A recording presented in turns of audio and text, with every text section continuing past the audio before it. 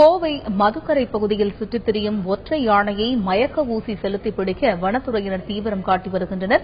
இதுகுறித்து எமது கோவை செய்தியாளர் நேசராஜ் தரும் கூடுதல் தகவல்களை பார்க்கலாம்.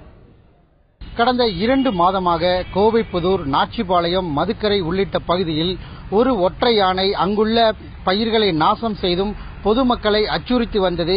இந்நிலையில் அங்குள்ள விவசாயிகள் கோவை மாவட்ட ஆட்சியரிடம் ஒரு மனுவை அளித்திருந்தனர். அந்த மனுவில் இந்த ஒற்றை யானையை பிடிக்க வேண்டும் என சொல்லியிருந்தனர். இதனையடுத்து இன்று விவசாயிகள் ஆர்ப்பாட்டம் செய்வதாக தெரிவித்திருந்தனர். இந்நிலையில் அரசு அந்த அட்டகாசம் செய்யும் ஒற்றை யானையை ஊசி போட்டு பிடித்து டாப் ஸ்லிப் யானைகள் பாதுகாப்பு மையத்தில் விட ஏற்பாடு செய்யப்பட்டுள்ளதாக மனுவில் தெரிவிக்கப்பட்டுள்ளது.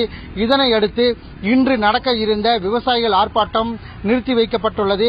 இதனையடுத்து நான்கு நாட்களுக்குள் அந்த ஒற்றை யானையை பிடிக்கும் பணியில் வனத்துறையினர் ஈடுபடுவார்கள் என அறிவிக்கப்பட்டுள்ளது. தந்தி டிவி செய்திகளுக்காக ஒளிப்பதிவாளர் நவீனுடன் நேசராஜ்.